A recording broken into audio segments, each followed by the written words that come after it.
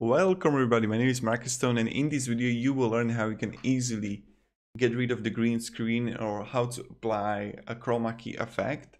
So what you want to do is have a green screen, uh, some footage in your timeline and now you want to click here on the settings in Movavi Video Editor Plus. Then you want to click here on a chroma key and let's choose the color that we want to have if you choose the orange, you can get rid of him.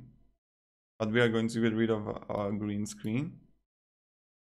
And you can play with the tolerance now. Noise. When I'm going to apply. You can see, really easy.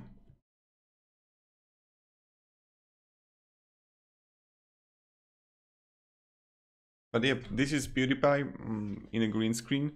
You can also, let's see the effects, chroma key, general, settings.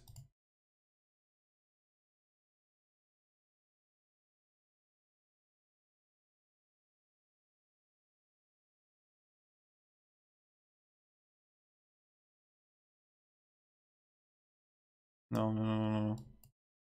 It's too much. You just need to play around it. That's all.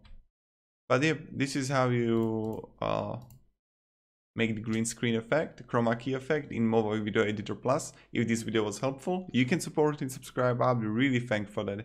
Thank you everybody. Have a great day and see ya.